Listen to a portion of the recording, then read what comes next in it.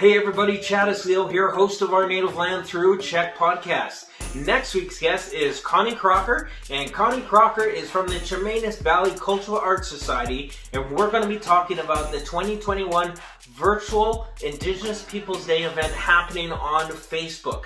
So let's take a small look at our conversation with Connie. Shops uh, weaving and carving and wool. Yeah, I was going to ask about the cedar weaving. That's something that I I always want to learn more. I've done it a couple times mm-hmm. as, as, a child, but that's really cool.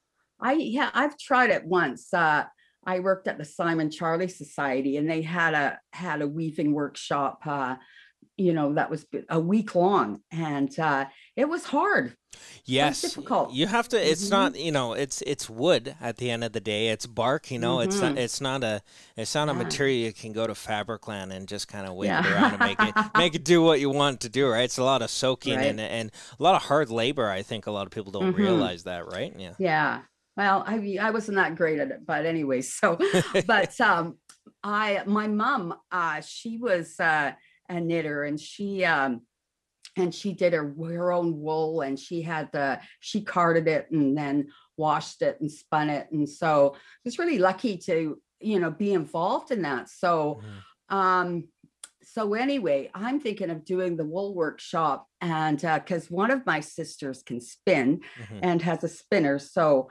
and then the other uh, sisters can knit so i thought between all of us we could put on a workshop.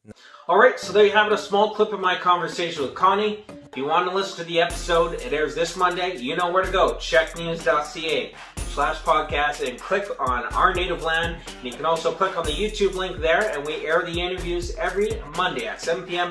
Pacific Standard Time on our YouTube channel. Okay, thanks so much, everybody, and we will see you on Monday.